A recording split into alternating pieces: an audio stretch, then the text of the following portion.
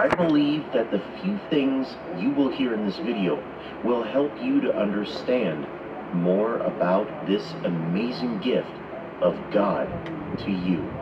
However, I believe that the few things you will hear in this video will help you understand more about this amazing gift of God to you, his child, and better appreciate and take advantage of him to your benefit. Without the Spirit of God, we are helpless, I tell you. This may come as a surprise to you.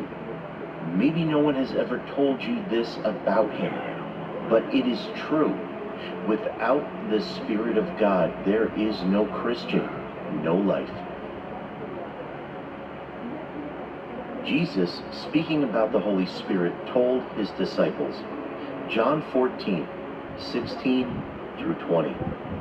And I will ask the Father, and he will give you another advocate to help you and be with you forever, the Spirit of truth. The world cannot accept him because it neither sees him nor knows him. But you know him, for he lives with you and will be in you. I will not leave you as orphans. I will come to you. Before long, the world will not see me anymore. But you will see me. Because I live, you also will live.